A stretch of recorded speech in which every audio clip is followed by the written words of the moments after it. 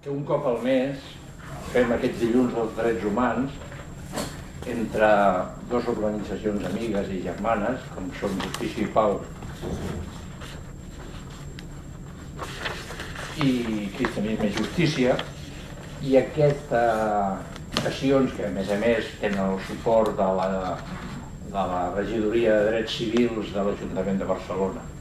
Bé, aquesta sessió l'hem dedicada a un tema d'actualitat també, desgraciadament, per, perquè ja porten molts milers de morts, ells en parlaran de forma més concreta, i l'hem titulada, com que són els, els dilluns dels drets humans, com aturar la violació dels drets humans a Síria. Que és un tema, jo diria que polèmic, perquè com aturar-ho, pues, eh, voldria dir, a millor intervenir, intervenir no vol dir fer-ho militarment, perquè també es pot intervenir políticament i a través de la diplomàcia i fent moltes pressions, i etc. Però això serà l'objectiu del debat, bueno, el debat i de les seves intervencions. I dit això, pues,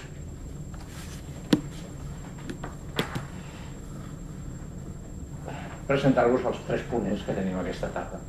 Per una banda tenim en Jaume Flaquer, jesuïta, director de l'àrea de Teologia de Cristianisme i, Justícia, que és professor de diàleg interreligiós i a més és una persona que ha viscut en diversos països del proper Orient, és un expert i molt coneixedor del món musulmà i de la religió musulmana, evidentment també de la nostra, els cristians. També tenim a, David, a Dani Vilaró, que ell és periodista especialitzat en temes de cooperació i drets humans d'Amnistia Internacional i que per tant parlarà de les violacions dels drets humans a Síria i per últim a José Luis Gordillo, que és professor de Filosofia del Dret a la Universitat Central de Barcelona. A més és membre del Centre d'Estudis per la Pau de l'As, de Justícia i Pau de Barcelona. Dit això, ja pues, només vull fer una breu referència del per què hem escollit això i també voldria fer jo, ni que sigui molt breument, dos pinzellades perquè jo crec que, que el conflicte de Síria no és un conflicte dels més sagnants que hi ha en aquest moment en el món, però sí que és el que més crida l'atenció dels mitjans de comunicació. I això és una pregunta que ens hauríem de fer, jo que ja, ja la llenço. Per què? En canvi, hi ha altres conflictes que s'han reavivat, que venen de lluny, que han provocat milions de morts i que ara estan molt candents perquè s'acaben de reavivar, perquè mai s'han acabat d'acabar, i d'aquests doncs, els mitjans de comunicació no en parlen. Un és el de la República Democràtica del Congo, que torna a estar molt virulent, eh? més de dos milions de morts, dos milions i mig de morts. Un altre és el de Sudan.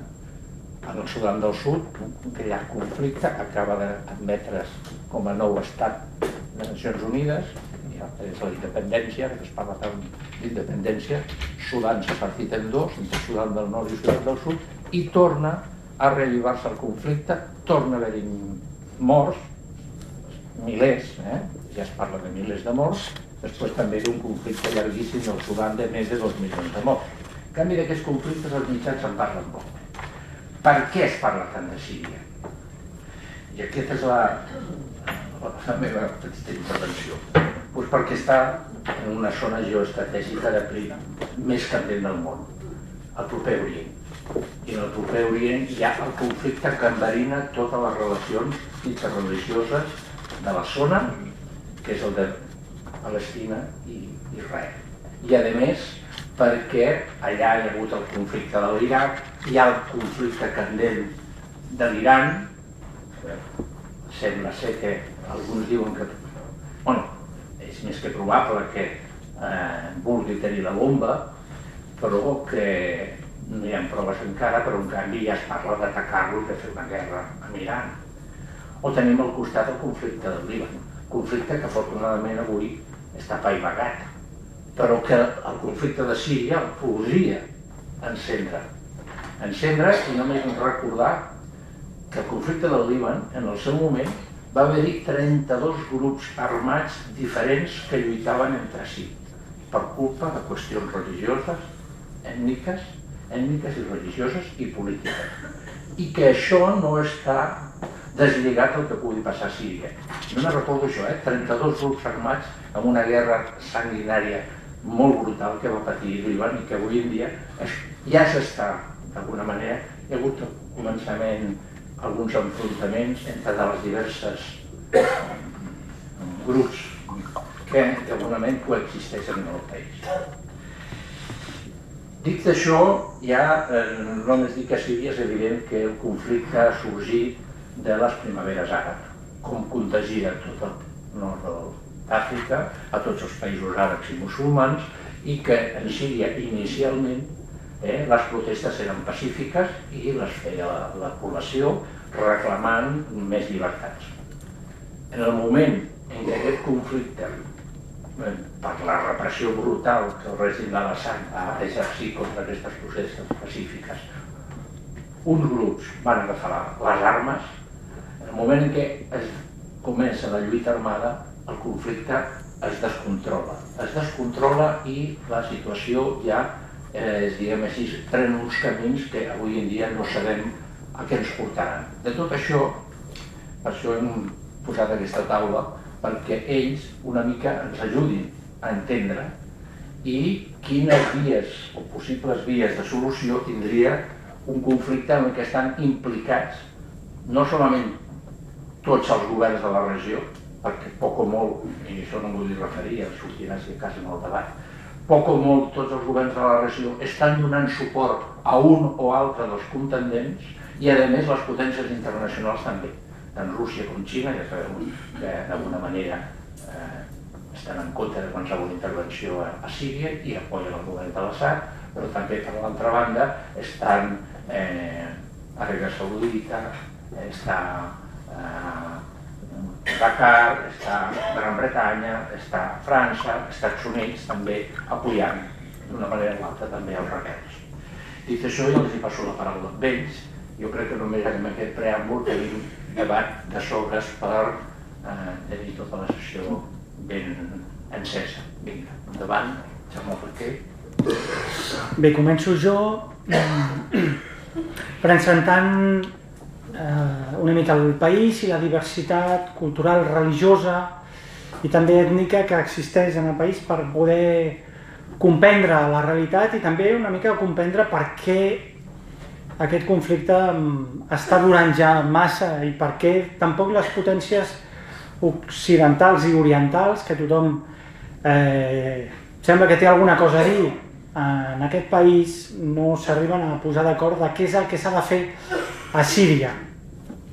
Curiosament, estava mirant per preparar-lo una, una enquesta que es va fer l'any 2010 Uh, I per tant, abans que comencés doncs, totes aquestes revoltes, que curiosament, doncs, eh, per una banda, la majoria dels encastats, eh, un 80% considerava que la situació política era eh, dolenta o molt dolenta.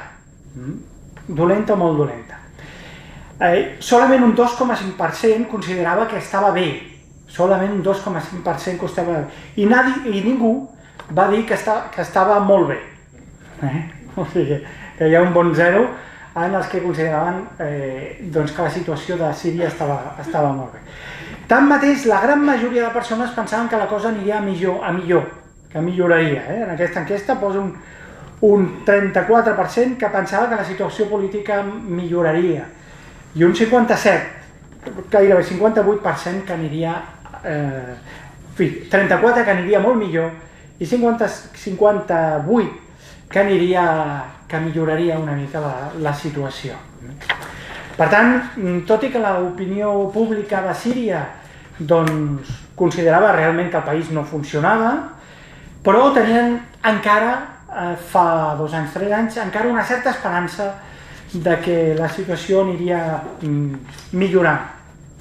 Això va ser especialment veritat quan van eh, es va donar el traspàs de poder a Bashar al-Assad, que es va pensar, bueno, potser aquest canviarà una mica la política que va fer el, el seu pare, i va haver-hi en aquest moment una certa, una certa esperança. Ben aviat, doncs, val a dir que l'esperança eh, doncs es va enfonsar, però encara, encara pensant que a poc a poc el, el país eh, podria sortir-se'n des de l'interior del mateix règim. Tanmateix el pessimisme és clar, eh, perquè eh, respecte a les, la situació del país, eh, un 42% considerava que els ministeris i l'administració pública són extremadament corruptes, extremadament corruptes. Que un 42% de la població consideri això vol dir que realment la corrupció és bona i important. Extremadament corruptes i un 35 molt corruptes. Eh? O sigui, un és extremadament i l'altre un 35% molt corrupte. I moderadament corruptes, un 13,9%. Mm? Veieu? I solament no corruptes un 4,5%. Eh? Se suposa que són quan, quan han preguntat els mateixos al règim. Eh? I un altre 4,2% doncs, que no sap, no contesta. Mm? Per tant, la corrupció en el país és quelcom era quelcom ja eh, plenament admès eh? Eh, en vaja. Llavors, anem a veure una mica la situació i les mm, diversos eh, grups que existeix, eh? No. No hi ha res. Molt bé. Eh? En fi, ràpidament són, són com quatre, quatre diapositives. Simplement que veieu la Síria i tota la zona kurda, eh, el, el lloc doncs, que, que ocupa mm, la Turquia, Iraq, la situació de Síria, com té Iraq una banda, a la Turquia, on l'Iran està una mica més lluny, i per aquí, eh, per aquí tenim, tenim el Líban, i, i per aquí baix eh, tenim eh, Israel. Mm. Per tant, la zona kurda tenim els kurds aquí, aquí dalt, que és una minoria mm, prou, prou important.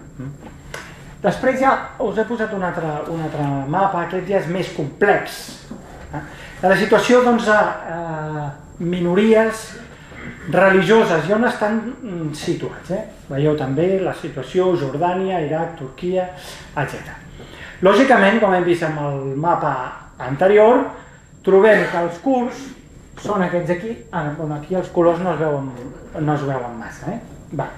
Tenim els curts que estan situats aquí i després eh, aquests també són curts i aquesta taca eh, més o menys negra o gris també tenim els curts. Per tant, els curts els tenim a dalt de tot. Després hi ha la, una altra minoria, que és la minoria que està en el poder, que són els que governen, són els alauís, els alauites, hm? Que són els punt, eh, és la zona verda, eh? la zona verda. La majoria dels alauites, doncs, els tenim a la costa, en aquesta zona d'aquí. Fixeu-vos que Damasc està bastant més cap al sud hm? i tenim punts alauís per tota aquesta, eh, aquesta zona. Aquests alauites no s'ha de confondre amb, amb la dinastia alauí que tenim aquí al Marroc. Eh? Són dues coses completament dif diferents. Hm? Els, alauí, els alauites és una minoria religiosa mm, eh, sorgida a partir del xiisme, del xiisme duodecimà. Eh, S'entén, doncs, que el govern de Síria estigui, per una banda, recolzat per el moviment de Hezbollah del, del Líban, que són precisament xiites, a Líban tenim aquesta zona, aquesta zona d'aquí. Abans la, la, la Síria agafava també tot el Líban. Doncs en el Líban tenim una minoria molt important, que són els xiites de Hezbollah, i a més a més que té una força militar. Aquests estan, lògicament, eh, o, o tradicionalment han sostingut el règim, ara estan bastant callats, però, però han sostingut sempre el règim i i també entenem que si en el govern de uh, Síria hi ha un grup que tot i que no siguin mm, és una secta dintre del xisme, estiguin també recolzats per Iran, on tenim un tipus de xisme duodècima, que és el xisme imamita que uh, hi ha allà a l'Iran. Doncs els alauís són els qui, els qui governen. Després també tenim un, els drusos, com una altra minoria que estan especialment situats, són aquests d'aquí, mm? aquest, aquest color d'aquí, i també estan al Líban, també hi ha una certa minoria drussa. Mm? Com sabeu, els drussos, eh, en el conflicte amb Israel, doncs és una minoria que se sent especialment propera a Israel. Són els únics, els drussos, si no m'equivoco, doncs que poden de totes les minories sorgides eh, del món islàmic, són els únics que poden eh, fer el servei militar. Després tenim els xiites eh, xiites eh, duodecimans, mm? bueno, aquests especialment són, eh, estan sobretot al, al Líban, aquests serien Mm, sobretot el partit de Hezbollah, el grup aquest de Hezbollah, sobretot aquí en el mapa és el líder, i evidentment hi ha persones d'aquests, d'aquestes confessions que estan, que estan a Síria. Però com a mínim a Síria no són, no són especialment importants, aquest grup de xiites. En canvi, una minoria xiita que sí que són importants a Síria són els ismaelians. Eh? Eh, bueno, suposo que amb tots aquests noms Mm, si no coneixeu una mica l'islam i després el cristianisme, perquè també hi ha gran varietat dintre del cristianisme, com a mínim si us queda, ui, això és molt complex, doncs ja està bé. Mm? Ja està bé, que hi ha molts grups eh, diversos. Els ismaelians és un altre grup dintre del món, eh, del món islàmic que és eh, que sorgeix del xiisme, mm? però en canvi eh, solament Mm, admeten set grans imants dintre la successió de l'imamat del món, eh, del món xiita. I en canvi els duodecimans, els xiites duodecimans, admeten 12 grans imants. M'estic referint a una divisió eh, de l'edat mitjana en la qual els xiites es, es, se separen del món sunita a partir del quart califa de l'islam. Els xiites són partidaris d'Ali, eh, tots els xiites i llavors el fill d'Ali agafa l'imamat, és a dir, per entendre'ns com el cap de la comunitat xiita, els xiites li diuen imam amb això, i llavors el, el poder xiita va passant de fill a fill d'aquesta cadena d'imams. Quan arriba el setè xiita es divideix la comunitat xiita en dos, una que seran el, els septimans o també ismaelians, que serà un grup que en el setè xiita mm, no admetrà els successors eh, d'aquest eh, setè xiita. Per tant, el 8è, 9è, 10è, 11è, 12è, aquests eh, seran admesos per a una altra branca del xiisme, que és el duodecimal. Per tant, eh, ismaelians i duodecimans són dos grups sortits dintre del món xiita. A l'interior també tenen teologies diferents. Eh? Per exemple, el grup de l'Aga Khan, eh? potser us sona, l'Aga Khan, eh? que estan especialment, com a grup, està situat especialment a, a la Índia, però tenim aquí a Europa el que és el, el cap de tota, de tota, de tot aquest grup. No? eh, doncs són, eh, són sorgits precisament de l'ismaelisme. També aquells famosos, eh, la secta aquells que es va anomenar els assassins, del Hashashin, eh, que va donar una mica el nom, aquesta paraula que tenim en català, assassí, eh, ve també d'una secta ismaeliana de, del, segle, del segle XI, que estava situat precisament en aquesta zona que, que veieu, en aquests puntets en fi blaus eh, que hi ha. Després ja hi ha cristians, evidentment el Líban és la zona on hi ha més cristians, pot haver-hi actualment un 30 o un 40% de cristians a Líban.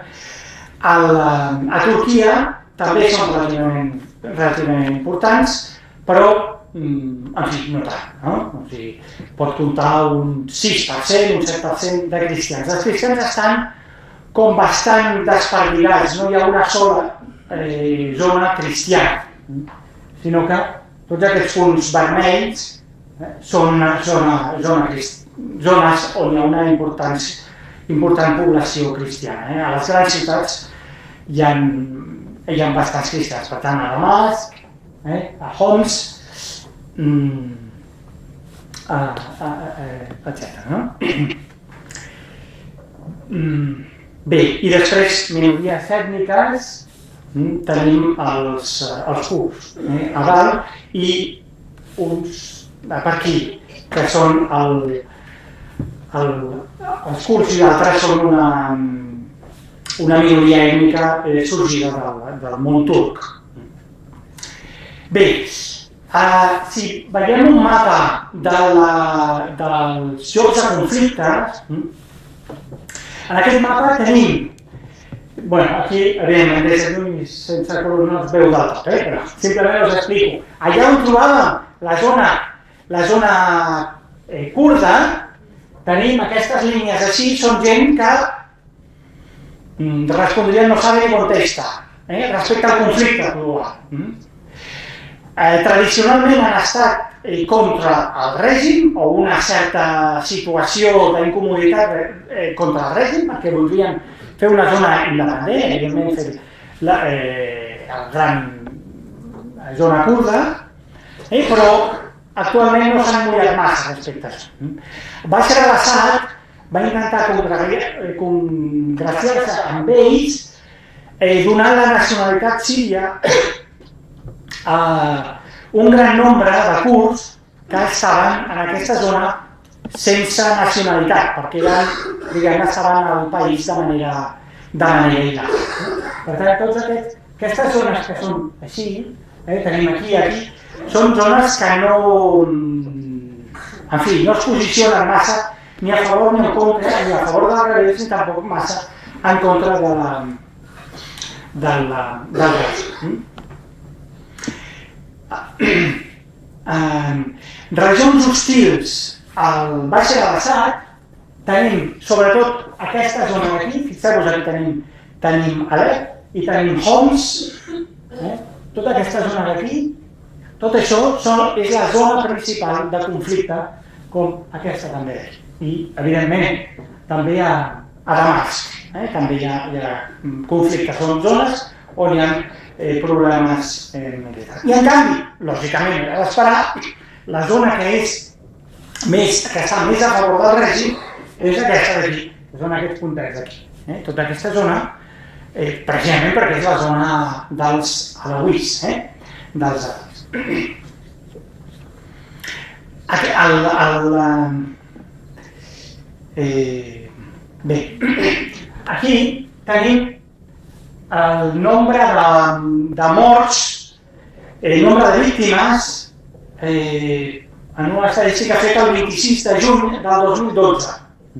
Veiem a Homs com 6.702, solament a la ciutat de Homs. Per tant, és el lloc eh, principal, diguem-ne, de conflicte. Eh? Uh, I després altres ciutats, a Idet també, aquí, uh, a Damasc, en fi, Homs, eh, 2.900, després a Homs 2.000, a Damasc 1.700, etc. Mm? Veieu les zones doncs, de conflicte que té relació amb la, en fi, la composició doncs, del país. Hi ha doncs una pluralitat confessional en el país. Eh? Veieu, el 70-75% és islam sunita i que estan situats en aquesta franja, sobretot, de, eh, de conflicte. La quantitat de, el nombre d'alauís que hi ha al, al país és un 12, 15, 16%, en fi, les alauís diuen que hi ha molt més, fins un 20%, però probablement no arriben a aquesta, en aquesta quantitat. Els, els alauís són, és un tipus d'islam que, que que està emparentat amb una altra minoria religiosa molt, eh, en fi, molt interessant, que són els alevis de Turquia, eh, que és una minoria de fins i tot uns 15 milions, 15 milions eh, eh, d'habitants que hi ha a Turquia, que és un islam amb ressonàncies esotèriques i místiques i fins i tot amb influències cristianes. Eh? Um, bé, els cristians doncs és entre un 5% i un 10%, drusos entre un 1% i un 3%, i xiites ismaelians, que és una, una altra minoria entre l'1 i un 3%. I en canvi, la minoria kurda, aquesta que està situada a dalt de tot, doncs són un, 5%, un 15%, el qual no és, no és poca cosa.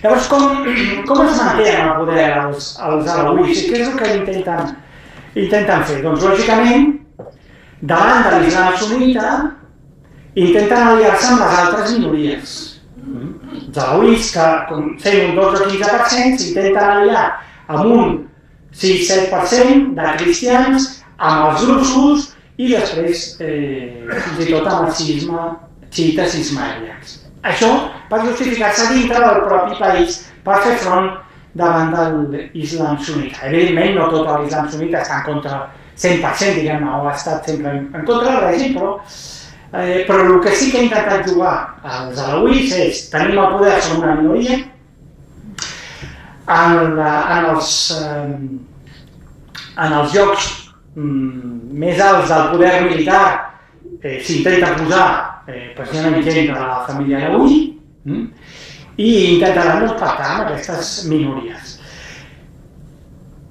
Per això, doncs, aquestes minories són les que estan més, o han estat tradicionalment més en contra de de canvi de règim, no perquè no pensin que hi ha una corrupció total en el, en el sistema, perquè ja ho hem vist, que les persones que solament deien que, que no hi havia corrupció, doncs un 4%, imagina, imagineu-vos, o que no donen ni per...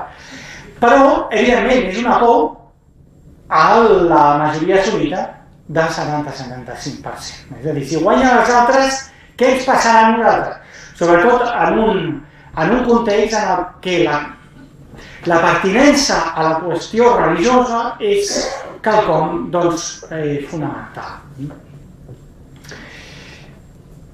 Mm.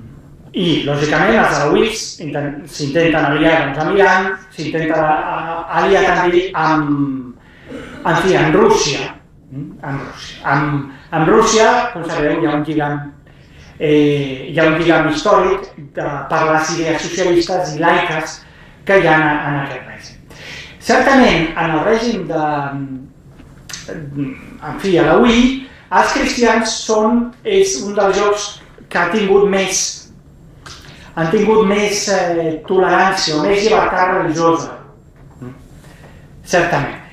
I això explica eh, que els patriarques fessin el, el 19 de desembre del 2011, els tres patriarques, els tres patriarques cristians, bueno, tres dels patriarques cristians de Síria, que són el patriarca de... Eh, espera, posaré aquí els grups civis eh, cristians, eh? El patriarca eh, siri-ortodoxa, eh, el patriarca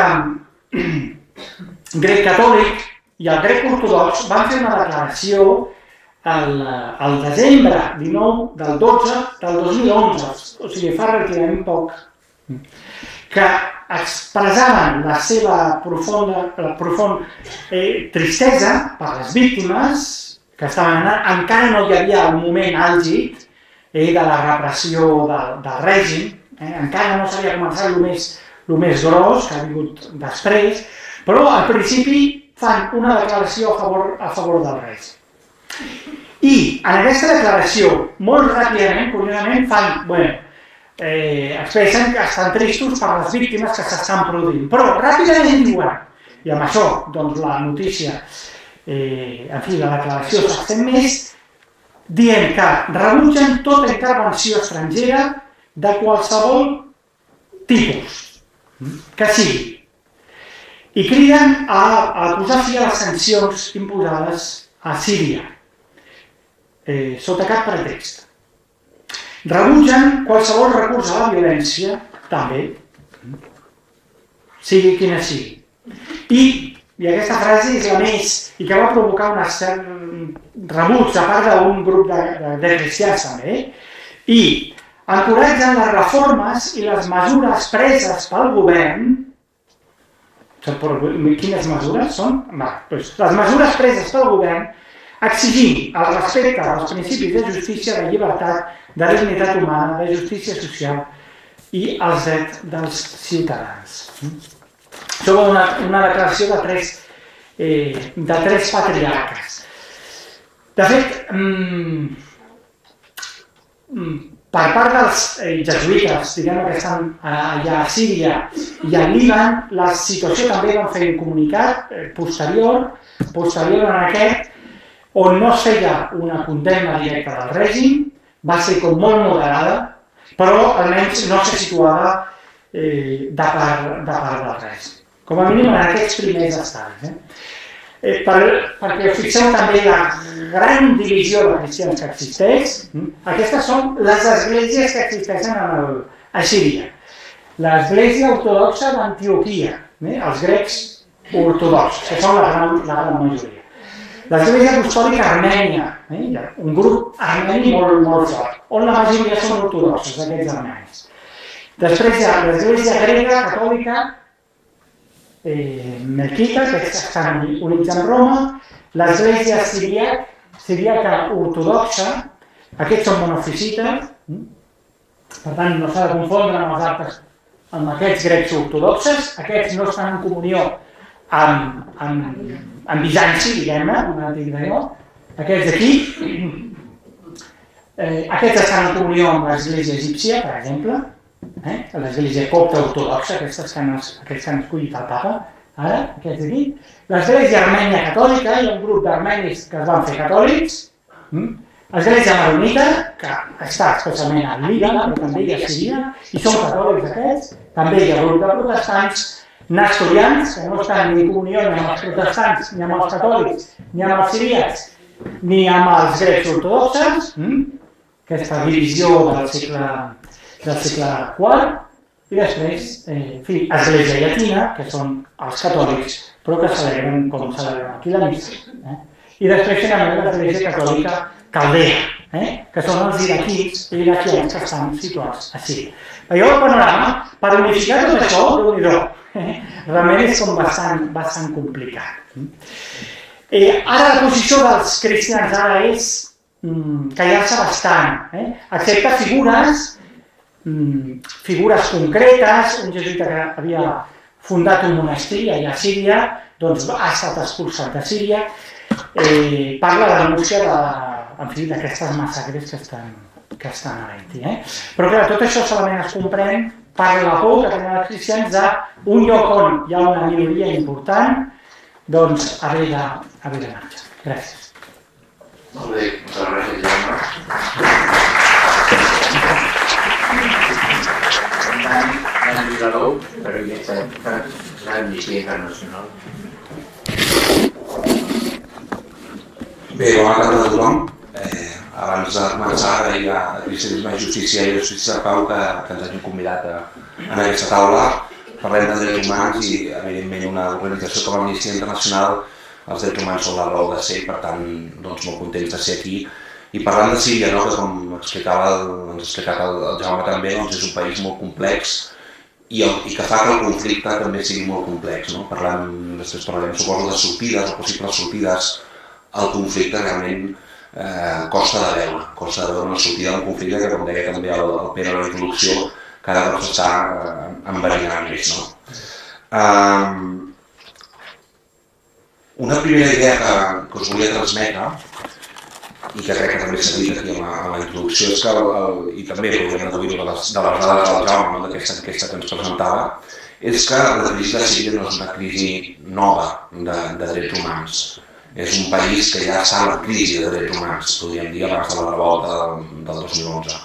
Uh, eh, per tant, no estem davant d'una crisi de drets humans desconeguda, sinó una crisi, podríem dir, agreujada, agreujada fins a l'extrem d'un conflicte terrible com el que estem veient. No? Uh, he fet l'exercici de mirar què deia, què deia l'informe anual d'Amnistia Internacional del 2010, és a dir, just abans, igual que l'enquesta del Jaume, doncs què dèiem abans, què deia l'Amnistia Internacional abans de la situació dels drets humans a Síria, uh, i ens trobàvem ja en, en una situació molt complexa, no? un estat d'excepció de gairebé 50 anys, des de l'any 1963 hi havia un estat d'excepció i per tant això era un terreny que s'abonava a la vulneració dels drets humans i als abusos, a la repressió, suposo que explicava també molt, molt d'aquest descontent de la població que es veia en aquesta enquesta que ens, que ens parlava el Jaume. Mm, hi havia detencions activistes per drets humans, hi, ha problem, hi havia problemes molt greus de llibertat d'expressió, amb periodistes, detinguts, eh, els blogs, tot, tota la gent que a través d'internet doncs, intentaven les vies d'expressió també reprimir. Síria és un dels països que des que va sortir aquest invent d'internet doncs és un dels principals repressors d'internet al món, és directament, eh, talla, controla l'accés, eh, talla, bloqueja les webs que no li interessa que vegin els seus ciutadans, etc. No? Mm, té un històric, tenia un històric ja el 2010 de judicis injustos, de judicis que es feien sense garanties, eh, de morts sota custòdia, és a dir, persones torturades al moment de detingudes per opositors o fos, doncs, persones que morien en dependències policials com a resultat de la tortura, una pràctica que després hem vist molt més ampliada en el conflicte actual, i doncs, l'explicació de la pena de mort, etc. No? Uh, arribem al març del 2011, que és quan esclata la revolta. Uh, per tant, dues coses. Venim ja d'una situació prèvia explosiva. I després veiem, i això ho deia Pere a l'introducció, com hi ha hagut unes revoltes àrabs a països mm, diguem, de, de la zona i hi ha un cert efecte doncs, de, de, de contagi. No? eh, quan eh, Tunísia revolta contra Ben Ali o, contra, o Egipte revolta contra Mubarak, doncs al final els sirians suposo que es pregunten per què no poden posar fi a tot aquest règim eh, repressiu que, que tant els feia. No? Eh, a partir d'aquí jo crec que podríem parlar de tres fases del, del conflicte, tot i que només fa un, un any i vuit mesos que, que estem en conflicte, obert, la primera fase ens ocuparia els, els primers 8 mesos de, de revolta, diria del mes de març del 2011 a aproximadament fa un any, el novembre del 2011. I són, es caracteritza, i ho dit a la introducció, per una repressió unidireccional molt dura i molt repressiva contra la població civil, una població que s'està manifestant, la majoria pacíficament, que surt al carrer simplement per fer manifestacions contràries al règim de, de, de l'Assad, i que rep eh, una violència absolutament brutal i directa en forma de franctiradors, eh, detencions arbitràries, tortures a les persones que són detingudes per participar en aquestes manifestacions. Hi ha tot un catàleg molt ampli que, que Amnistia Internacional ha documentat de violacions de drets humans que en aquest moment són eh, de l'Estat, de l'aparell de repressió de l'Estat, del govern de Bashar, de al-Assad, cap a la població que s'està manifestant. Uh, per tant, el missatge que llença Síria o el govern sirià en aquell moment és molt clar, que és que no permetrà uh, que hi hagi una revolta tipus uh, Tunísia o tipus Egipte. No la permetrà, l'esclafarà. I aquest és el missatge que llença amb totes aquestes pràctiques repressives cap a la, cap a la població. No? no vol una sortida, per tant, pacífica o negociada al conflicte, i l'única resposta és la repressió a aquestes manifestacions. Això aproximadament és a març de novembre del 2011. Al llarg d'aquest any, d'aquests primers mesos, Amnistia Internacional publica 3-4 informes sobre el que està passant a Síria en aquest moment de violència unidireccional. Mm, detectem morts sota custòdia, el que dèiem abans. Persones que són detingudes, fins i tot de nostra edat, fins i tot nens de 13 o 14 anys, que són detinguts, portats a presons sirianes i ja no els tornem a veure. Desapareixen o moren eh, després de ser torturats. I m'estalvio el catàleg de, de, de tortures que practica la gent sirià perquè és, és, és molt gros. Eh? Aquest és un comportament que l'Amnistia Internacional eh, revela com a eh, sistemàtic. No és un comportament aïllat. Són ordres i que, que, que s'executen, diguem, a totes les comissaries on hi ha detinguts eh, de persones que participen en, en manifestacions opositores. A l'octubre del 2011 publiquem un segon informe on ja revelem una mica més el clau i detectem que hi ha certes pràctiques de tortura eh, en centres mèdics, en centres hospitalaris, hospitals públics de Síria on van les persones manifestants que han rebut, per exemple, un tret perquè hi havia foc real en, en aquestes primeres manifestacions, sobretot de franctiradors, de persones que, que disparaven des dels edificis de les persones que manifestaven, doncs aquestes persones que eren ferides de bala corrien el risc que quan anaven a un hospital públic perquè se les atengués, doncs eh, vam reportar algunes desaparicions, vam reportar també casos de tortura practicada per determinat eh, personal mèdic que estava en aquestes, en aquestes dependències. Això també va provocar les denúncies de molts metges que no volien participar de tot aquest aparell repressiu que s'estava organitzant també en els mateixos hospitals i que es veien a la, a la, a la conjuntura difícil de triar si es convertien en uns torturadors o si mm, atenien a, la persona ferida, que és el que ha de fer un metge. No? Mm, això va provocar també doncs, eh, cessaments, eh, empresonament d'algun personal, direct, eh, personal mèdic que no volia participar d'aquestes pràctiques i tot un problema diguem, que va fer també que molta gent quedés desatesa, que molta gent anés als hospitals privats intentant fugir una mica de tota aquesta xarxa de repressió que s'està organitzant en el sistema públic i una situació verdaderament mm, terrible, no? Pensar que et pareix una manifestació que si vas a, a l'hospital doncs encara, encara rebràs pitjor, no? I finalment trobar un altre informe, estem encara a la primera fase, que era l'assetjament opositors i, i manifestants fora de Síria.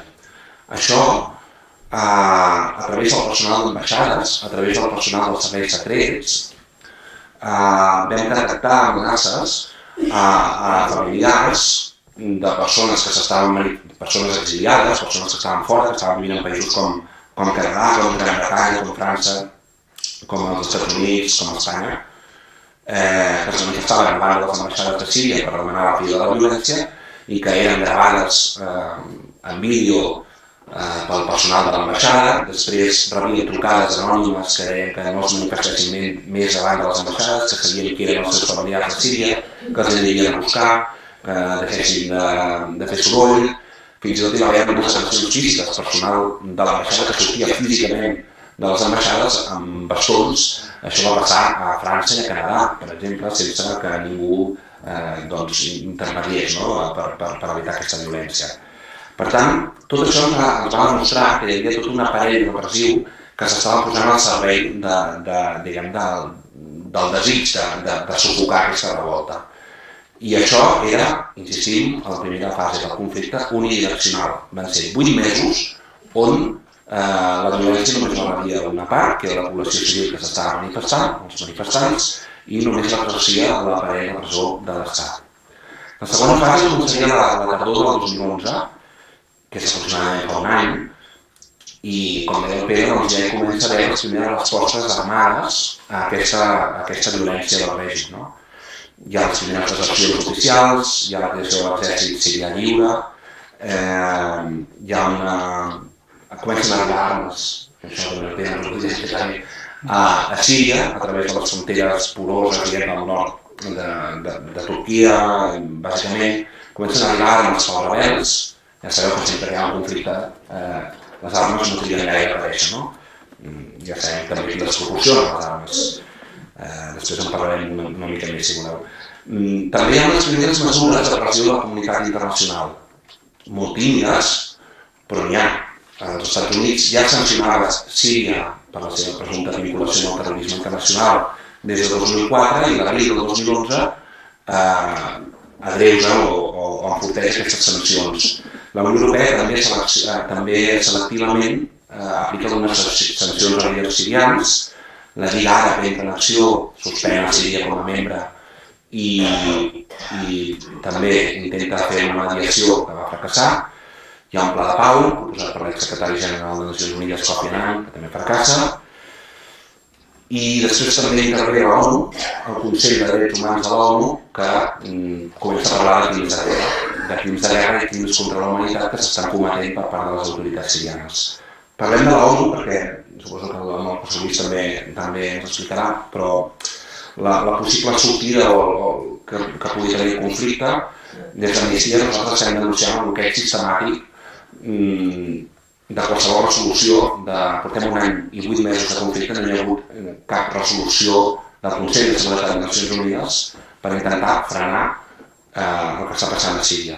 Hi ha dos països, membres permanents del Consell de Seguretat de l'ONU, per tant, amb dret a veto, que són la Xina i Rússia, que estan bloquejant sistemàticament qualsevol eh, resolució al respecte, per molt tímida que sigui. Eh, però també hi ha altres països que estan al Consell de Seguretat, que com tenen dret a veure, però que també estan al Consell, amb seient al Consell de Seguretat, com Brasil o Líbia, que tampoc no tenen cap interès a, a frenar això. Veurem que l'Índia també té algun interès tecnològic militar per allà mig, és a dir que l'ONU no ha fet res per aturar aquest conflicte. Eh? I això per nosaltres és molt greu, és a dir, l'ONU porta un any i vuit mesos sense assegurar cap protecció a la població civil siriana des, de, des del punt de vista dels drets humans. I només fa que, que diguem, amb la seva inacció permetre que el conflicte cada cop s'estigui enquistant i enverinant més com estem veient eh, d'una manera molt més, molt més general, no? Amb, amb ja podríem parlar del conflicte armat intern a, a Síria, crec. Uh, arribem al 2012 i la situació més o menys segueix igual, bloqueig de Nacions Unides, i mm, anem traient informes on detectem més, més violacions de drets humans. No? Eh, passem ja a la fase dels bombardejos.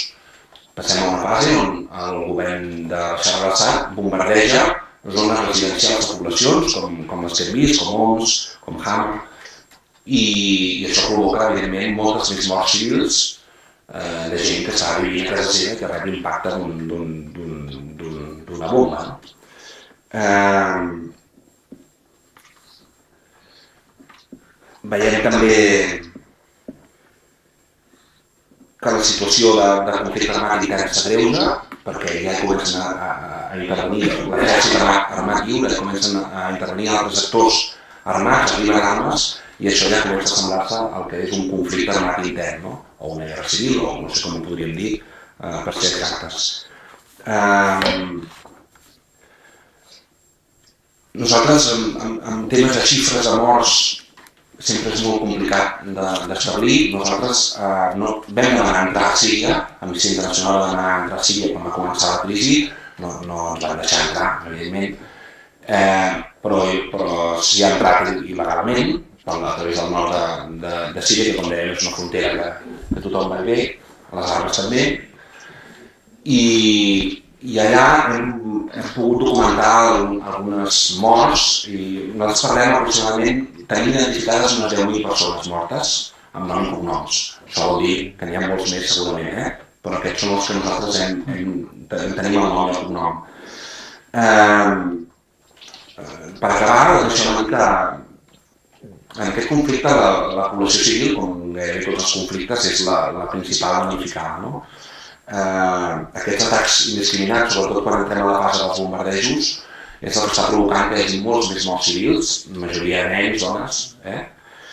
Eh, vam documentar, per exemple, a, a ciutats com Idlib, Hama o Jabal Zaria, mm, morts, no, fins i tot una cinquantena de morts en un bombardeig que va provocar 300 morts un dia a, a la ciutat d'Idlib. Mm, hi ha un tema que també ens preocupa, que és el tema de la població refugiada, que és la població que està en els països veïns, a Turquia ja, que no estava facilitant, tot i que estan entrant refugiats allà, a Turquia hi ha uns camps enormes de, de l'ACNUR, de, de, de l'ONU, eh, no s'estan donant totes les facilitats perquè aquesta població sigui atesa. Estem parlant de més de 250.000 persones en aquest moment, segons l'ONU, eh, segons l'ACNUR. Eh, acabo amb les conclusions del, del que ha demanat l'Amnistia Internacional, que és el que hem demanat des del principi i el que demanem ara. Nosaltres demanem tres coses. Demanem que el cas de Síria ja és un cas on hi ha proves molt evidents, evidències molt clares de crims de guerra i crims contra la humanitat i per tant volem que actuï el, la Cort Penal Internacional, el Tribunal Penal Internacional. Això eh, perquè creiem que és l'única manera d'intentar eh, garantir eh, bueno, que, que algú reti comptes per, per aquests abusos que s'estan cometent i perquè comenci a jugar una mica la justícia. No? Eh, Síria no és part de l'Estatut de Roma, no forma part del, del, de l'Estatut, diguem, de, de, de, de l'estat membre de, de la Penal Internacional i, per tant, ha de ser l'ONU la que mm, remeti el cas a, la Penal Internacional perquè Síria no forma part. No? Això ha passat a Darfur el 2005 i va passar a Líbia també amb la crisi del 2011. Demanem un embargament d'armes immediat a Síria, per demanar no creia, no? Eh, però si estan arribant armes, si ho estem veient, eh, potser ara és el moment perquè ja tenim armes per tot arreu, però sí que hi havia un moment on, on quan la violència era unilateral, que potser era el moment de decretar un embargament d'armes. Si només es controlaven les armes que arribaven a Síria, doncs potser podíem aturar. En aquest moment ja estan entrant armes a dojo per totes les fronteres i per tant eh, això seria més necessari que mai, no? un embargament d'armes mm, perquè sabem clarament, ho estem veient cada dia, que aquestes armes s'estan utilitzant per violacions massives de drets humans. I per últim, eh, demanem la congelació de béns i, i, i fons a baixar a la sala dels col·laboradors més estrets. És a dir, aquest senyor s'ha de bloquejar d'alguna manera, aquest senyor té diners fora de Síria, evidentment, i això s'ha de poder intervenir d'alguna manera per pressionar-lo.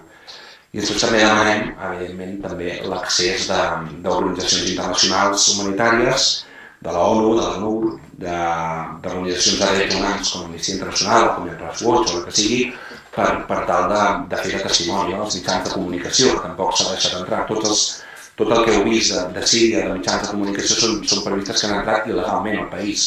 I després hem vist totes aquestes imatges que ha enviat el periodista ciutadà i en Síria, que han anat les seves imatges a través de les, de les xarxes socials, del YouTube, etc. Uh, per acabar, molt bé, sobre el comerç d'armes. Uh, Rússia, amb el 10% és el principal proveïdor d'armes de, de Síria, per tant explicaria molt a la seva posició al Consell de Seguretat de l'ONU, però també hem vist la Índia, que també és un punter de la tecnologia, eh, i, i per tant aquí veiem una mica els interessos no? del comerç d'armes. Dic que és una llàstima eh, el, el fracàs no? de, de la cimera per aconseguir un tractat del comerç d'armes que hi va haver juliol a Nova York, perquè aquesta podria haver sigut una primera, una primera passa per, per intentar frenar l'arribada d'armes que veiem que està alimentant aquest conflicte. Ho deixo aquí perquè ja hem llançat moltes, moltes idees. Moltes gràcies.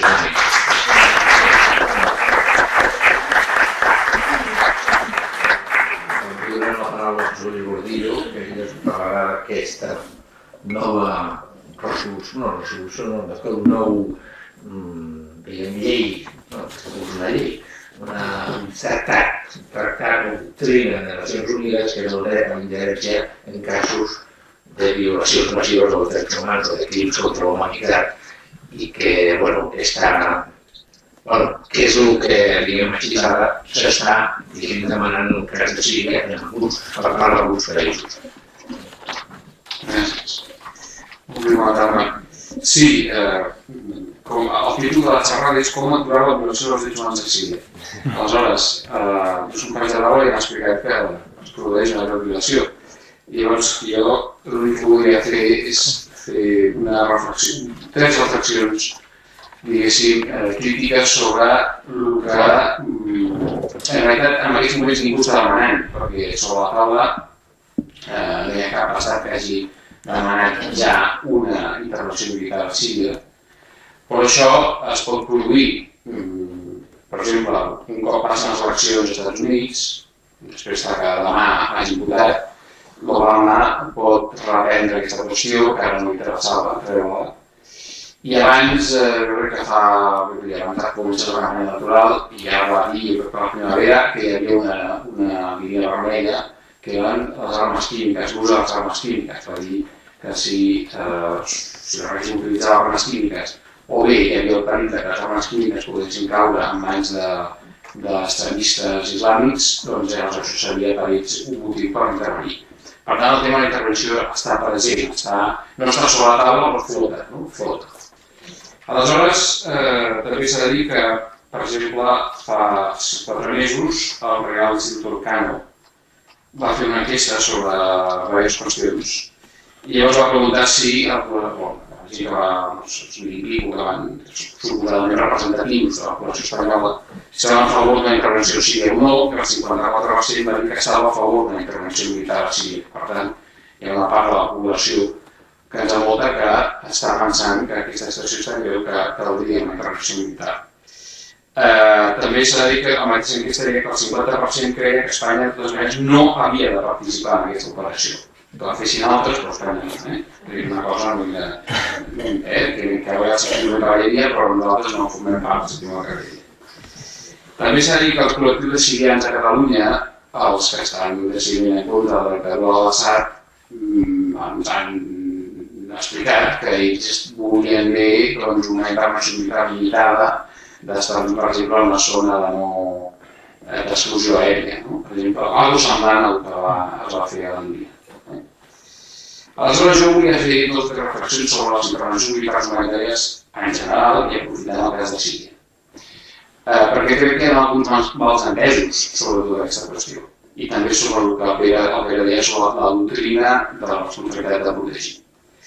Jo soc pacifista, jo ja us dic que el meu punt de vista és el d'un pacifista que mira sempre amb, amb horror qualsevol ús de la violència. Però crec que el que diré també hauria d'interessar els que no són pacifistes. O sigui, potser que són pacifistes diran sí, sí, estem d'acord, però els que no ho són, crec com a mínim el de reflexió. La primera qüestió sobre la intervenció militar humanitària és que, eh, tal com es presenta, i també com, com ho presenten els, els, els mitjans de comunicació, que per exemple utilitzen aquest concepte de es tracta de la comunitat internacional. La comunitat internacional hauria d'intervenir. Això pot suggerir que estem parlant, eh, quan es parla d'intervencions militars humanitàries, que seria una mena de dret que tindrien tots els estats del món, tots els estats del món, els 192 estats que formen part de les Nacions Unides, els quals sí creuen que en algun lloc del món hi ha una greu violació dels drets humans, ells podien enviar una resolució de les Nacions Unides o no, perquè s'ha fet de tot, i aleshores podia intervenir en aquest territori de forma militar per eh, acabar amb aquesta, o dir que intervenen per acabar amb aquesta violació dels drets humans. Això, això és una fal·làcia absoluta. És a dir, la discussió sobre la intervenció militar humanitària no és una discussió eh, que tingui que a la realitat, a la realitat existent, que tingui a veure amb que tots els estats podrien tenir aquest dret, en absolut. Des de la el començament de la Guerra Freda, la discussió, si vol discutir en sèrio sobre això, el que s'ha de, és, de discutir és reduir la qüestió a si les grans potències seria convenient que intervinguessin en algun lloc del món on es produeixen greus violacions dels drets humans. Entenent que mai, que elles mai acceptarien que se'ls apliqués la mateixa doctrina en els seus territoris. Això diguéssim, qui cregui que això seria possible, que Estats Units admetés una intervenció de Rússia, de Xina, d'Iran, de Cuba, Venezuela, en el seu territori, perquè s'està produint una violació dels drets humans, eh, és una que no toca, sincerament. O que pues, Xina, Rússia, Iran, eh, Venezuela intervinguessin a Grècia en aquells moments perquè s'està produint una greu violació dels drets humans a Grècia, que s'està produint per decisions directes de la Unió Europea, és una que no hi toca. Vale? Llavors, la qüestió s'ha de reduir a si seria convenient o no en determinades circumstàncies i tampoc que eh, soc pacifista diria que no, però que no sigui pacifista que no, millor podríem pensar-ho. No? Vale? Jo crec que aquesta és una primera, una primera qüestió que convé dir, és a dir, eh, solament, solament poden intervenir, i de fet, els últims 20 anys, al final, al final, solament ha intervingut qui?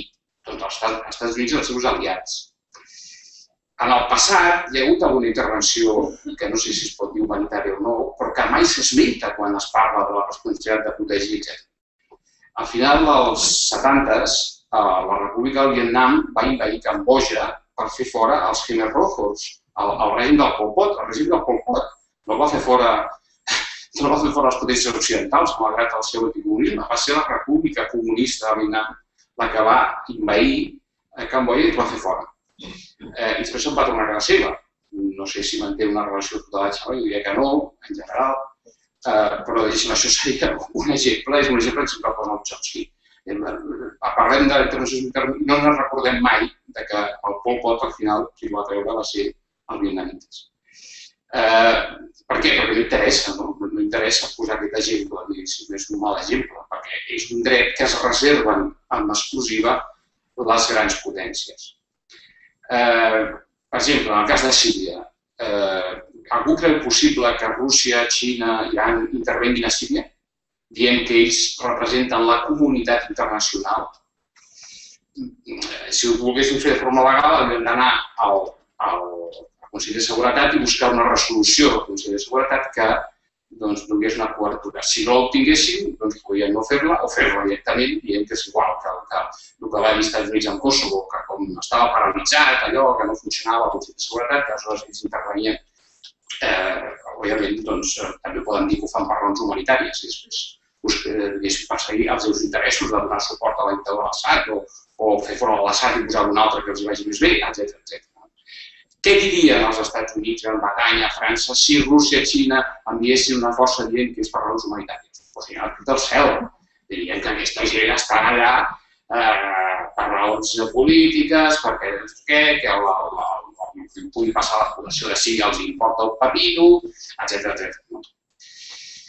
Aleshores, eh, és molt curiós que aquest tipus de raonaments, que tots faríem, jo també els faria, eh? si Rússia i Xina que tinguéssim militarment a Síria també diria, va, aquells ara que van d'explicar que estan molt preocupats pels drets humans a Síria, vinga ja.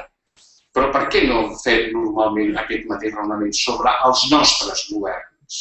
Perquè són els nostres. Eh? I una cosa és el Putin i l'altra és l'Obama. I no direm mai que l'Obama és com el Putin. El Putin és corrupte, és mafiós, és un... Tal. L'Obama, l'Obama és bo, no? És un emperador bo.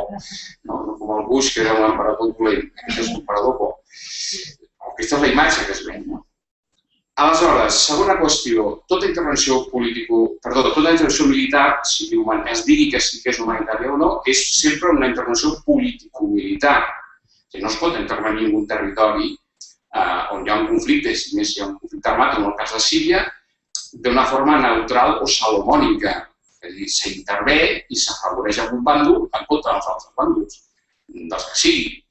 I, i s'acaba sempre doncs, eh, recolzant en un grup que, al qual se'l favoreix i se'l posa al govern o se'l treu, etc etc. Així han estat totes les intervencions que hi ha hagut en els, en els últims 20 anys.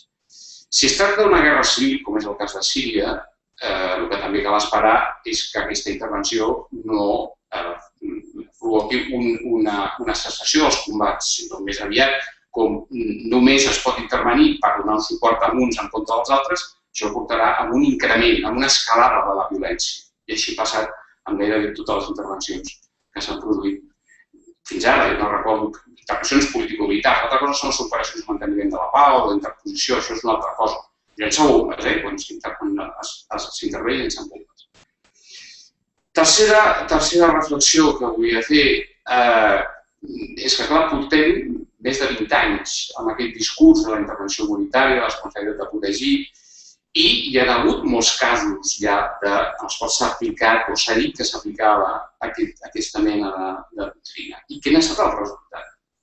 Jo crec que qualsevol que en aquests moments digui sí, sí, sí, això de Síria és molt fàcil d'arreglar, que intervingui l'OTAN a Síria, ja ho ha escolta, no m'ha pres res de tot el que ha passat a Somàlia, de tot el que ha passat a Haití, de tot el que ha passat a Bòsnia, de tot el que ha passat a Kosovo, abans i després de la intervenció, del que ha passat a Afganistan, del que ha passat a Iraq, del que ha passat a Líbia.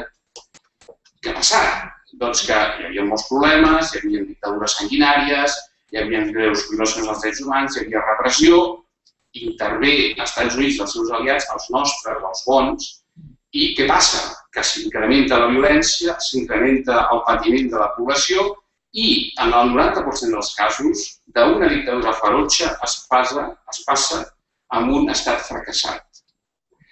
O, una expressió que a mi m'agrada més, amb una entitat política eh, caòtica i ingovernable.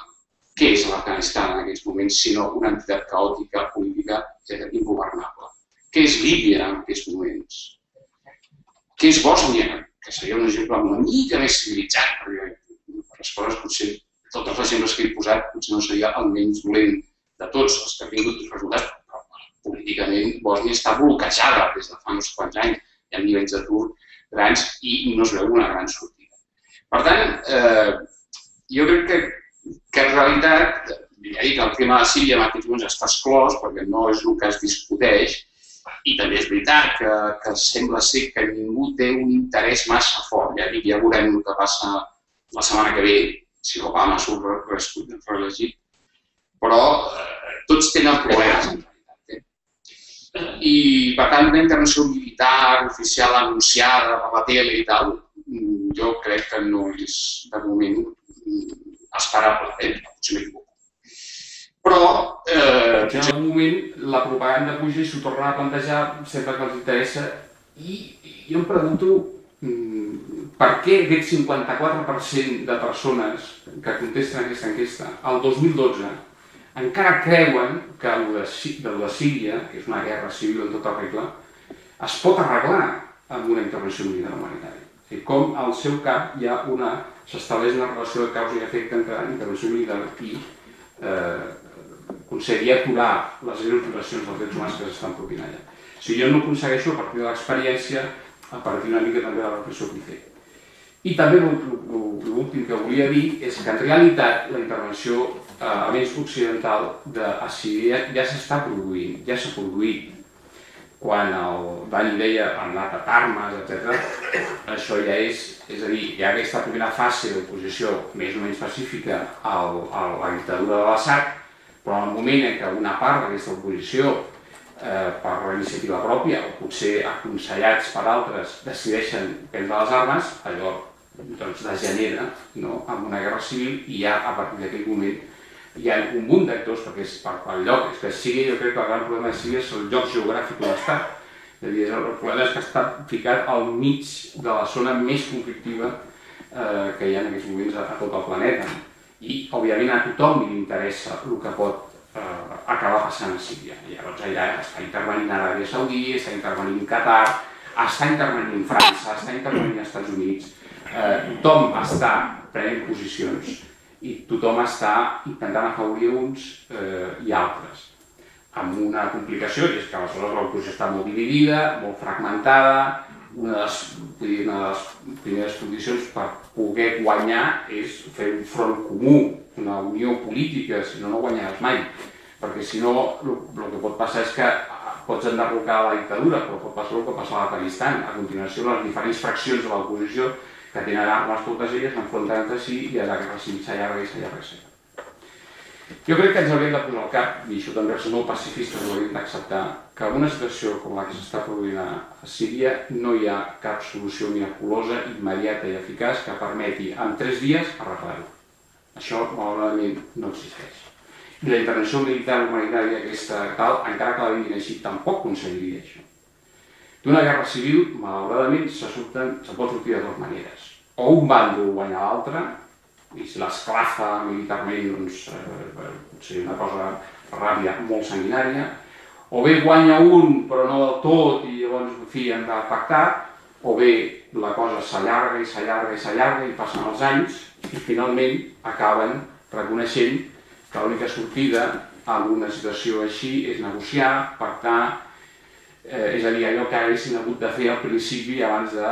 Eh, uns, òbviament, en aquest cas, la primera responsabilitat de la dictadura de l'Assad de reprimir brutalment les manifestacions, però també els altres, o la part dels altres, que diuen amb això, eh, per acabar amb això hem d'agafar les armes, etc. Amb això, eh, vull dir, Colòmbia en aquests moments està començant a negociar per acabar una guerra civil que porten 50 anys quan eh, els que estan a favor de les armes i tal també haurien de pensar, hi ha altres contraexemples que potser dirien, no, no, però aquí va haver una revolució armada i van guanyar i va ser molt ràpid, i tal, estic d'acord, però també hi ha sempre l'exemple de Colòmbia, que em sembla un dels més perillosos i, i, que molts conflictes armats s'assemblen més al de Colòmbia que no pas a, jo què sé, no sé quin altre exemple posar, la revolució cubana, una cosa així, que va durar relativament poc. No? Eh, I llavors, amb aquesta situació què es pot fer? Doncs no gaires coses, no gaires coses. En la mesura en què hi ha grans potències, potències regionals i potències mitjanes que estan influint, doncs demanar-los que pressionin el seu bàndol corresponent per sentar a negociar amb els actors i no veig una altra sortida que es pugui fer, a més de l'ajuda humanitària, una mica també el que ha dit el Dani, eh? el Tribunal Internacional, etc. Aquest tipus de mesures que em semblen que són eh, absolutament adequades. Però eh, la repressió militar és llançar gasolina al foc i no arreglar res. Molt bé, moltes gràcies.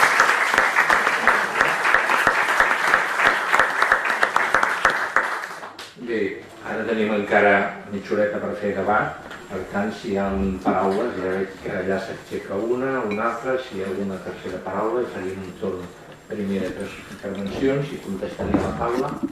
Si no hi ha dubtes, doncs Endavant, vostè primer. Sí, bé, jo això de fa molt temps que ho segueixo, és un tema molt complicat. I, eh, ho publicaria més encara si fiquéssim Israel i fiquéssim tot plegat. Eh, jo celebro molt que, que hagin explicat que l'Afganistan i tot això que ha acabat malament. I hi ha una notícia que ara resulta que Irak eh, comprarà armes a Rússia, vull dir que els americans a més de sortir-los malament, encara perdran un client. No, eh, a mi m'agrada molt quan dit la nostra posició. Bueno, jo aquí trobo a faltar una mica eh, Europa. No pot ser que França i Inglaterra estiguin subministrant armes allà i el nostre ministre d'Assumptes Exteriors vulgui fer una gestió de pau i el Moratí no sigui el gran expert del mig orient i, i que Europa, clar, que estiguin dividits totes aquestes comunitats cristianes i kurds i i allà, és una cosa que ja hi és, que és molt difícil d'arreglar.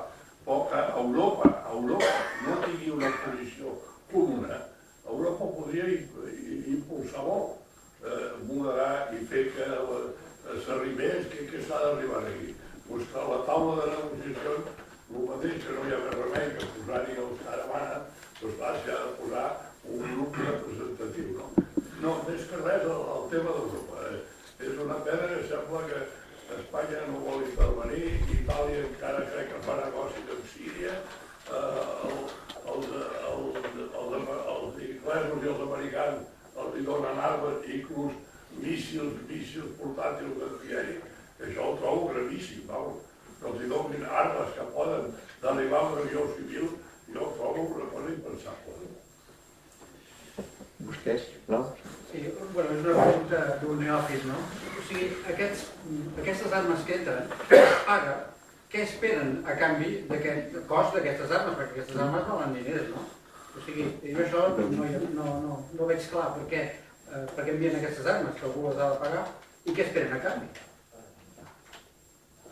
Potser...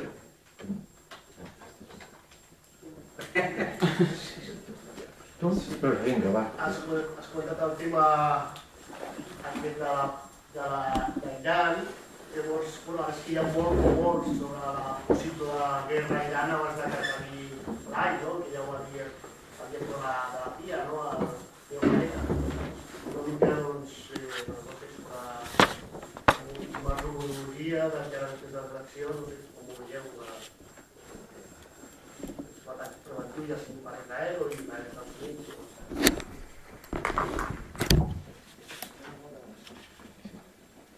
Correspon. Jo crec que totes eren... No, jo molt, molt breument el que em veig capaç de contestar. Europa és un desavell, Europa no té una política comuna eh, de seguretat. Mm, En aquest cas de Síria, eh, qui té més interès directe seria França, com a, com a, com a potència europea, per fi, l'herència de, de l'imperi colonial i de, i de la seva la, la zona seva, diguéssim, quan, quan allò era... Primer l'imperi otomà, però després va ser eh, de França i una mica aquesta relació que té França sempre també amb l'Àfrica, amb la francofonia, aquesta, sempre volen mantenir no, aquestes relacions. I llavors està intervenint. Això eh, mm, genera certes eh, gelosies per part de Gran Bretanya, que en qüestions militars sempre vol ser una mica la capdavantera a Europa, és a dir, allò, qui marca la línia volen ser ells que sempre ho aconsegueixin, que farà l'Alemanya, per exemple, se se les penja de tant en quant, però no hi ha una política comuna.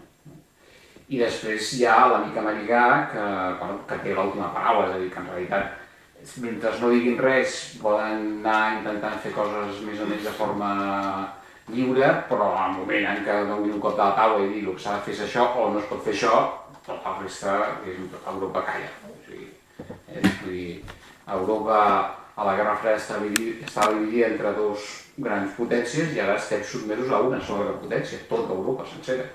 I això no, no funciona sempre bé, hi ha problemes, eh? no, no, no és una cosa...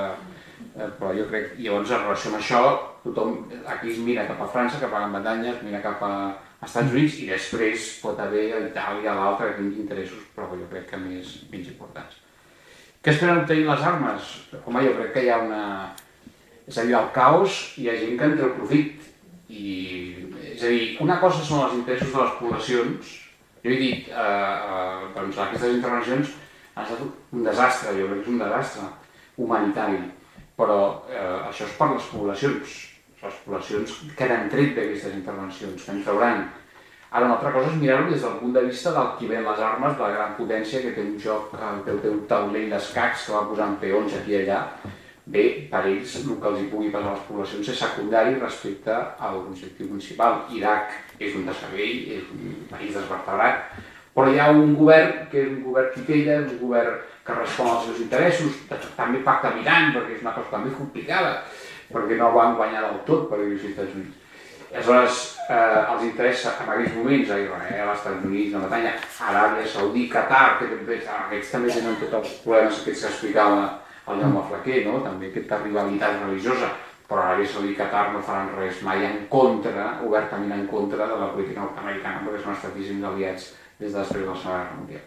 El Jacira, diguéssim, és una paella de propaganda que en aquests moments està clarament donant suport a l'oposició i ja està desgastant, diguéssim, el, el règim de l'estat. Després, eh, el període d'intervenció, eh, a veure, si és un vesper i després el que deia el Pere al principi, hi ha un perill molt greu d'extracció de, del, del conflicte, és a dir, comença a Síria però pot extendre fàcilment a la regió, una regió que ja és, que és, que és, que és exclusiva per si mateixa. Eh, recordem l'incident amb Turquia, aquest eh, intercanvi de, de, de, de, de, de canonades i bombes i tal que han tingut amb una amenaça més permanent de Turquia, perquè Turquia, el Parlament turc va dir nosaltres podem intervenir si volem. Eh, si, eh? Per tant, tenen, i, però clar, això ja és extendre el conflicte cap a Turquia, que tenen curs al mateix temps, tenen conflicte al nord, i llavors eh, els altres poden jugar la carta d'intentar posar-hi més enllà el foc al conflicte que ja tenen Turquia els curs, per exemple. Al Líban doncs, s'està doncs, reobrint, o hi ha un perill de reobrir la, la guerra civil, no? un atemptat brutal, manifestacions, i després, eh, fa tres dies, eh, va haver incident als altres de Golan, amb Israel directament, eh? va haver un intercanvi de trets, etc. Per tant, no és, una, no és un, un cap broma dir que hi ha, és, hi ha un risc real d'extensió del, del... Això, clar, mm, jo crec que això també és, també es valora des del punt de vista de les grans potències, els que interessa un gran conflicte regional ben mitjà, jo diria que no. Van a per Iran eh, i, i per tant si, si aconseguessin que eh, tirar baix l'Assad, Iran es creia sense algun aliat, Hezbollah tindria problemes al Líban, no tindria tantes armes, les seves notícies no serien tan fortes, Hamas també podria començar a tindre problemes, per tant fer caure l'Assad ja els interessa, sempre el seu joc diguéssim. Aquests serien els que pagarien les armes que entren allí? Sí. Aquests que, aquests que tenen aquests interessos amb... Sí.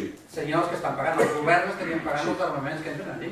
Més que els propis, eh, els que estan opositors, aquests, diguéssim, pocs diners deuen tindre per pagar l'armament. Sí que en tenen. Sí, que sí, sí, en tenen. Sí, li explico, si em permet aquesta pregunta, li responc ràpidament. A veure, a veure, el règim de l'Assad, el subministrador d'armes principal, ja ho han dit, és Rússia i, i li continua subministrant el règim. Eh? I per tant, pagarà el règim perquè quedi. I el segon és Iran, perquè és el seu aliat i també li subministra forces armaments. Eh? Qui està armant a l'exèrcit eh, lliure síria? Qui l'està armant? Principalment eh, eh, amb l'ajut de Gran Bretanya i França, sobretot. Però on, per on arriben les armes? Pues a través de la frontera amb Turquia i amb el Líban. I el Líban, eh, també. Qui pagarà el que ha posat els diners? Qui paga aquestes armes? Qatar i Aràbia Saudí, que són els que han donat recolzament clara a, aquest, a aquesta revolta de l'exèrcit llibi eh, siri d'alliberament. Per tant, aquests pagaran. Per què? Perquè estan a favor de la eh, majoria eh, sunita del país. I per tant, hi s'han implicat i estan en contra de, del xiisme, d'alguna manera aliats del xiisme que són eh, tant Iran com Hezbollah. Però també ells han afegit una cosa, Hezbollah, les notícies que jo tinc són segures, eh, està venent armes als dos bandos, també a l'exèrcit lliure de Síria. Eh? O sigui, Hezbollah, Hezbollah també està venent armes. Eh?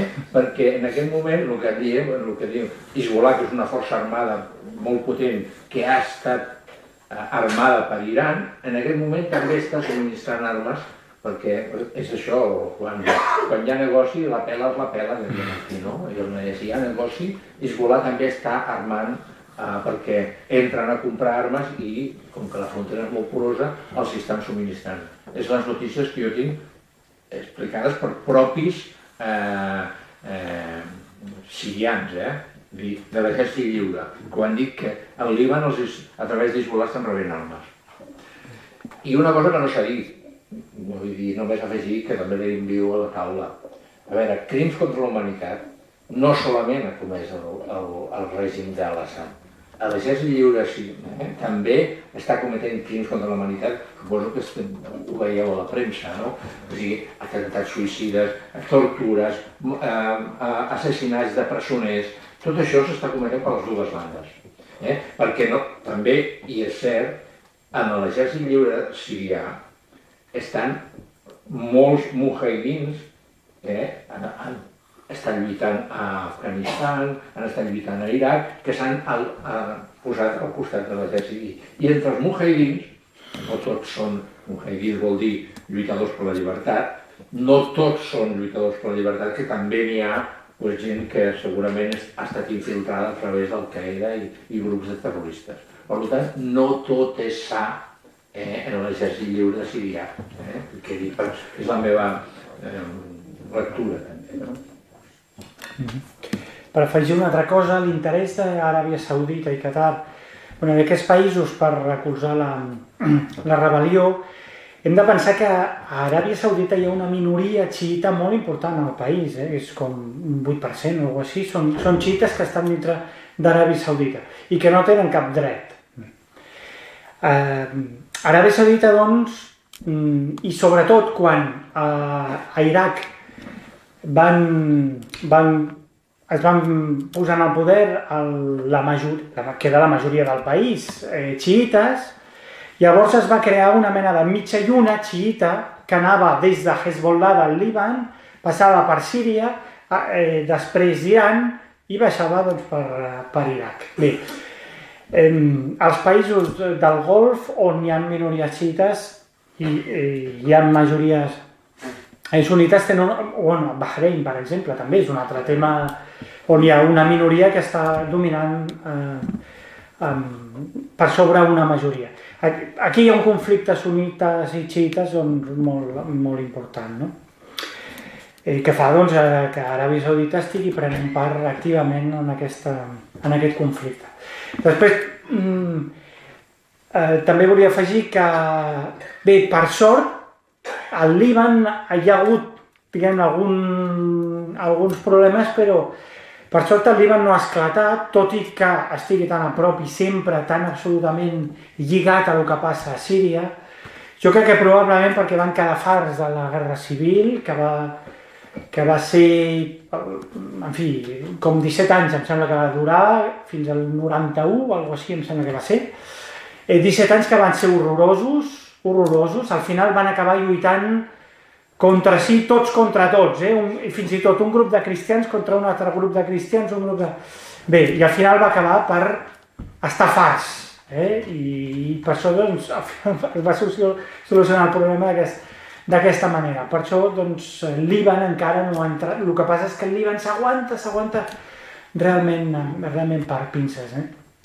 Jo no sé si a Síria passarà el mateix, és a dir, d'un conflicte que s'anirà eternitzant perquè no acabarà de guanyar ningú, això no ho sabem. Eh, També per dir alguna cosa d'Europa, mm, fixeu-vos quin és el problema europeu actualment, que és el tema de la crisi econòmica i per tant a Europa li costa molt pensar, bueno, a part de la, dels problemes de, de la diplomàcia europea que no ha funcionat mai encara, per fora en, en, en qüestions de conflictes, però Europa està pensant realment els seus problemes interns, eh? i per suposat, Espanya doncs, l'únic que pensa doncs, és, però, lògicament, amb la seva pròpia crisi.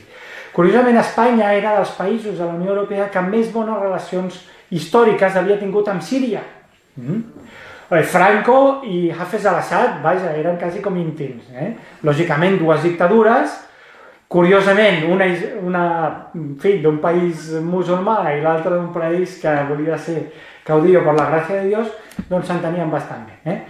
Això va, eh, va provocar que la primera immigració de musulmans mm, que va haver aquí a Espanya, als anys 75, va ser precisament de siris, de gent que provenien de Síria que van venir aquí a Espanya a estudiar. Eh?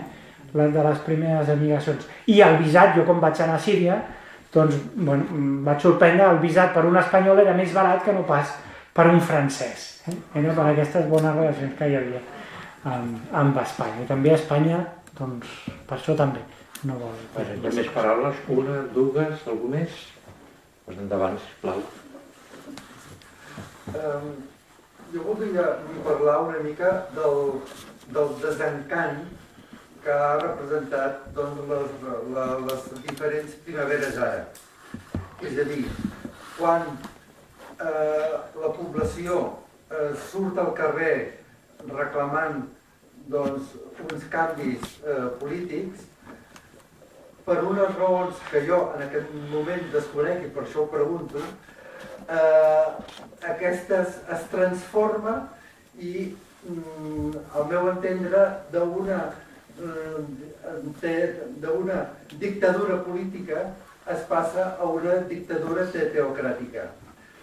I això eh, tinc l'impressió que també acabarà passant a, a, a Síria, que d'una revolta, podríem dir, espontània en principi, eh, de, de civils, eh, s'arma, no sé com, eh, i es transformarà en, diguem-ne, allò que nosaltres diem, distintos perros, però con ai, los distintos colores con los mismos perros.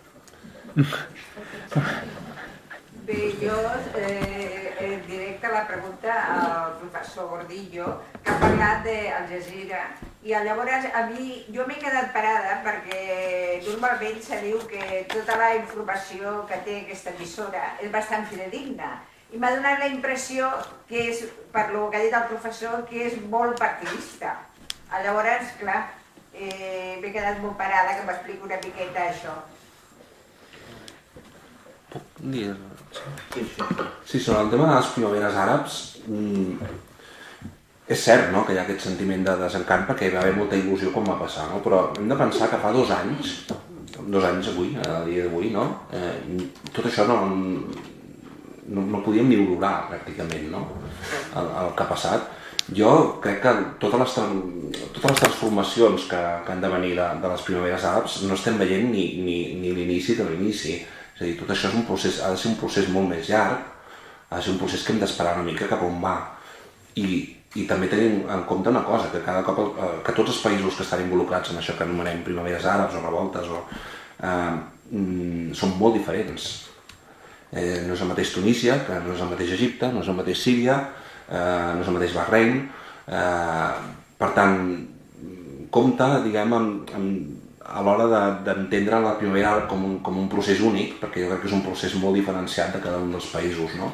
I en alguns països veiem avenços i retrocessos. No? A Tunísia s'ha posat com a exemple dels que les coses s'estan fent millor. S'estan fent millor però també hi ha problemes, sobretot de llibertat d'expressió, encara no queda clar quin serà el paper de la dona a la nova Constitució. Líbia, gairebé un estat, com dèiem, fallit no? en aquests moments. Egipte, Bé, eh, s'han fet les primeres eleccions democràtiques a la història d'Egipte, que han elegit un nou president islamista, però s'han fet les primeres eleccions democràtiques que hi ha hagut a la història, han pogut elegir per primer cop el seu president. Per primer cop no l'havien pogut elegir mai. Mai. És a dir, amb això vull dir que hi ha diferents, diferents valoracions no, que podríem fer del resultat de la primavera àrab.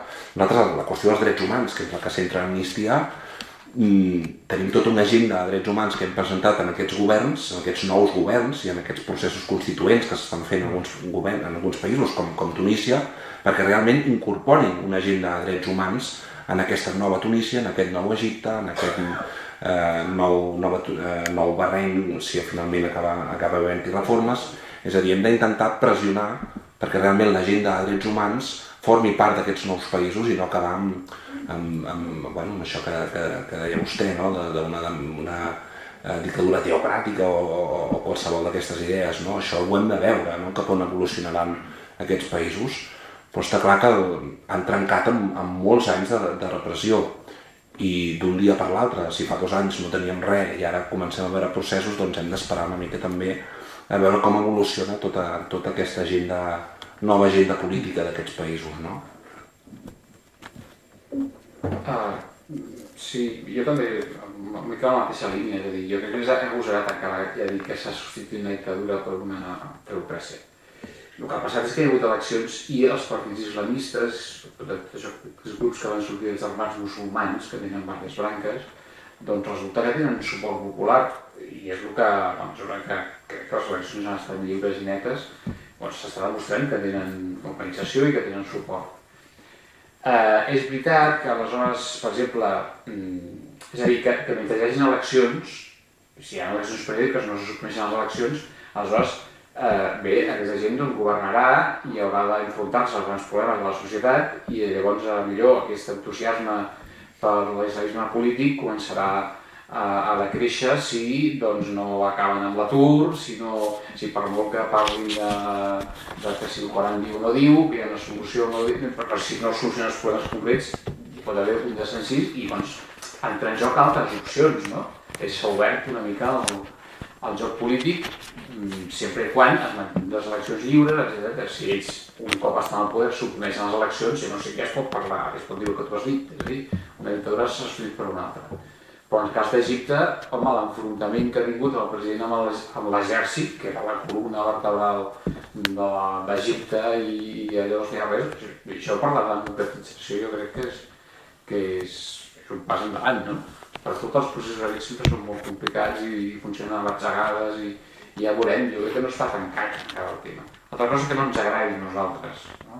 Que no ens agradi, però al fi al cap, a veure, si diu democràcia és que la gent voti el que lliurement vol votar, i si vol votar germans musulmans, que és el que han volgut. I, I si un pensa que això és un problema i resulta que té no sé quants vots, milions de vots, no, tampoc ho acabaràs donant suport a una dictadura laica que obligui aquesta gent a no fer allò que creu sincerament que és el que creu que s'ha de fer. En tot cas, doncs, s'ha produir un procés de canvi sociocultural que pot ser de dècades, no? però és un problema d'ells. És un problema d'ells. No? El Jacira, eh, a veure, el Jacira, mm, bueno, jo crec que no és el mateix que quan informa en conflictes que no té massa interès o que vol guanyar-se una mica la, a l'opinió pública musulmana àrab en general, i doncs, eh, però en el cas de Líbia, en el cas de Síria, ha tingut uns viatges molt clars, ha anat pel Gaddafi, en contra del Gaddafi, a favor de l'oposició, ha pres partit per dir-ho així, el qual no és estrany, tots els mitjans de comunicació diguéssim, tenen la seva, la seva vista. És que no, això, eh, aquesta, aquest mite del, del, de mitjà d'informació neutral, objectiu, això, no, dir, els diaris van néixer com, com òrgans d'expressió de corrents. Al segle XVIII, al segle XIX, la Revolució Francesa eren expressions de clubs de, de corrents polítiques determinades, tot això ha estat. No? Llavors a mi no m'estranya, i Qatar té una vocació, per exemple, ara l'emir de Qatar va anar a Gaza. Gaza, territori bloquejat, i, i no sé com s'ho va fer, perquè va poder entrar tranquil·lament, eh, i van deixar entrar, i va començar allà, i suposo, no sé si va repartir diners o, o, o però no, van rebre molt bé tots, perquè hi ha aquest senyor que diners, a veure si... Calés, calés, molt calés. Això clarament és, vol, vol dir que vol tenir protagonisme, no? Vol, per exemple, segurament doncs, el Hamas vol anar substituint la dependència del Hamas que podia tenir, per exemple, amb Síria o amb Iran, doncs ara millor ell vol substituir i, no? i llavors, home, Qatar és una dictadura, eh? Vull dir, una dictadura, que hi hagi una tele, si és una dictadura, que hi hagi una tele i que els periodistes estiguin allà, puguin, són absolutament lliures, una mica estrany, no? Vull dir, això ja ens ho hauria de fer ja fa temps, no? Però no vol dir que no tinguin informacions interessants en certs moments, jo no dic que no, però no ens enganyem, no siguin ingenus, no? Bé, doncs, hi ha alguna intervenció més? Encara n'hi ha una aquí, bueno, doncs serà ja, si no hi ha ningú més que aixecar la... Així, un altre, dos, i ja tanquem aquí, eh, les respostes de la taula i ja En cap cas s'ha parlat de eh, la estratègia econòmica d'on són. En cap cas. En canvi, dona la impressió que tot és un problema religiós de fons, que són No, no, piquis. no. Em crida l'atenció que el tema econòmic no ha sortit ni una sola vegada en tots. Mm. Simplement, i perquè penso que segur que hi ha part d'això. Endavant. Sí, exacte. Subir la formació de la CIA, que és un fruit de la colonització del segle XIX, que va començar amb l'Alemanya eh, a, i a la Primera Guerra Mundial va passar a la dominació francesa. Sí, sí, és, és, és una ocupació de comunitat i potser seria les dependències d'aquesta comunitat perquè és un país una mica ja de cura, un can, un cantur, comunitat. No opine. Mhm. Ah, molt bé. Bueno, doncs vosaltres... Sí, simplement, eh, bé, clar, jo, jo he presentat la qüestió de religiosa sobre, per, per, eh, de formació professional, eh, evidentment. Um, evidentment. O sigui, això ho reconec. De totes maneres, Síria, com pes econòmic, té relativament poc, perquè no té... És, era ja un país pobre i no té recursos em, especials com petroli, gas, molts recursos minerals i tal. Eh, per tant, per tant, importància de Síria és sobretot el, el lloc que ocupa, diguem, geogràfic. Eh? El fet de tenir, de tenir el conflicte amb Israel, tenir Israel al sud, de tenir el Líban doncs, cap a l'oest, que és les, una de les sortides que té econòmiques que té, que té Síria. O sigui, Síria no té... Tu vas a Damasc, vas allà i dius, i on està el- l'economia? És que no veus cap, cap edifici, no sembla una capital d'un país on aniries a buscar doncs, uns gratacels d'economia, perquè Síria els té al Líban. Eh? Eh, que la, sempre l'ha considerat com una pròpia província i la província de dinamisme econòmic. No? Sí. Llavors, eh, en aquest sentit, per això la importància de Síria sobretot és geoestratègica. De fons el petroli d'Orient Mitjà, diguéssim, com a gran zona estratègica des de fa... Des de que les nostres societats van començar a consumir compulsivament petroli, gas, etc etc. no? Com a tema de fons, però és veritat que sigui una mica de gas, em penso que hi ha, Sí, alguna reserva de gas. Mm. En si mateixa potser no és l'important, l'important és que és una peça dintre del trencaclosques que és tot allò. Això potser no ho he esmentat tant, i potser perquè allò per suposat que ja sabem tots que és on hi ha les dues terceres parts de les reserves de petroli convencional que diuen. En tot, en tot cas és una idea de, de fer passar diguem-ne gas o petroli per Síria en, con, en comptes de dependre tant de Rússia. Eh, Això sí que és un tema europeu. Eh? De fer-lo passar per allà i després per Turquia arribant fins aquí. Els oleoductes, sí. Sí, els productes. Bé, molt bé, moltes gràcies a tots per la, aquesta sessió, per haver vingut i recordar-vos que el 3 de desembre serà el proper dilluns de drets humans en el que parlarem, el títol que hem posat és aquesta societat dualitzada cada vegada que profunditza més entre rics i pobres, eh? hem titulat Cal evitar una societat dualitzada entre rics i pobres.